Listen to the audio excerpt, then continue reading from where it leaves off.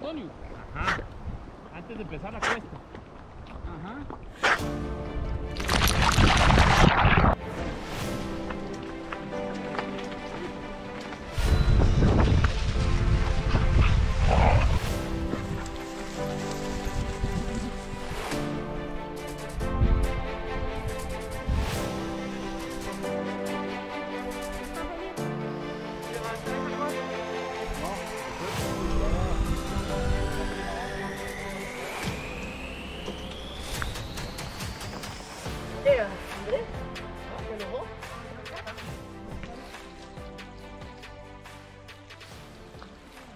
姑娘最。